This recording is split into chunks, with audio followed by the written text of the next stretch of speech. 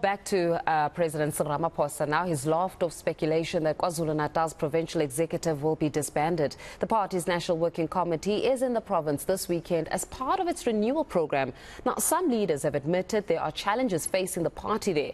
The only metro in the province has been placed under Section 154 or 154, allowing for national intervention. There is no decision, there is no reason uh, there's no plan to disband the PEC. We've got a leadership that is leading this province.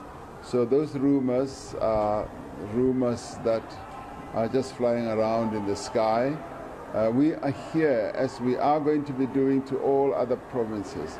We're here to consolidate the unity that has been forged here, strengthen the ANC, and also look at uh, how national can assist and strengthen the ANC in the province.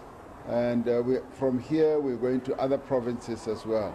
So there is no plan whatsoever to disband any of our structures. We're going around the country to strengthen them. So get it from me is to strengthen and not to disband.